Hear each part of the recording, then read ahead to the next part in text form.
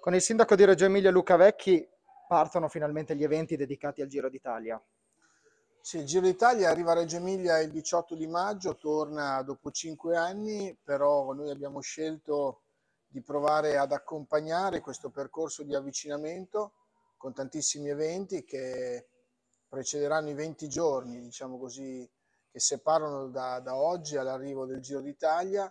eventi che coinvolgeranno le scuole, le società sportive, decine e decine di commercianti del centro storico che vanno certamente ringraziati, ma più in generale la città intera.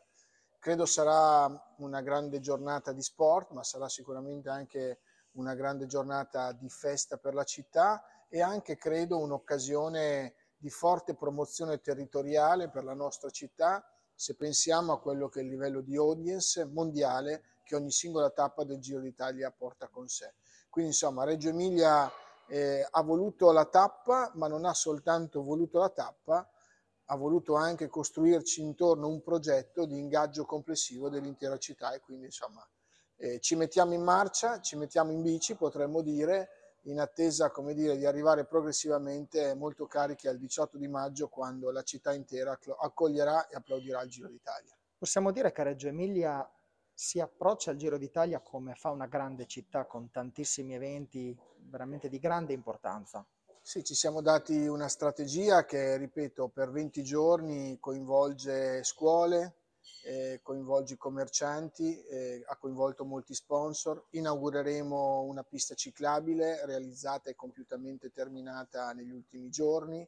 Ehm, abbiamo collocato il Giro d'Italia nel contesto di una strategia di promozione territoriale insieme all'inaugurazione dell'arena, a fotografia europea, a tantissimi altri eventi culturali che accompagneranno la città in questi giorni e in queste settimane. E, ehm, il Giro d'Italia ha anche un suo significato non strettamente sportivo, direi anche popolare, come elemento anche unificante di, un, di, una comunità locale, di una comunità nazionale e in più a Reggio Emilia incontra una città che ha nella cultura della ciclabilità e della mobilità sostenibile un proprio tratto distintivo che ci ha reso noti in Italia e nel mondo perché siamo la città con la più ampia rete di piste ciclabili in Italia perché ogni giorno ci sono migliaia di spostamenti che i reggiani per andare a lavorare o per il loro tempo libero eh, effettuano in biciclette. Quindi insomma il Giro d'Italia arriva a casa, arriva in un posto che è pronto per accoglierlo nel modo migliore.